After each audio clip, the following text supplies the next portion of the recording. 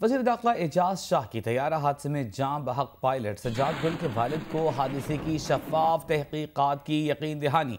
लाहौर में सजाद गुल के घर जाकर उनसे इजहार ताज़ियत की फातहा खानी की। कहा कि वज़ीर अजम की हिदायत के मुताबिक शफाफ तहकीक़ात होंगी। कैप्टन सजाद की जाम बहक होना न सिर्फ़ पी आई ए बल्कि मुल्क के लिए भी बड़ा नुकसान है। इस मौके पर सजाद गुल के वालद ने अपील की कि इंक्वायरी मुकम्मल होने तक ऐसे बयान देने से गुरेज किया जाए, जिससे मरहूम के अहल खाना की दिल आज़ारी हो। you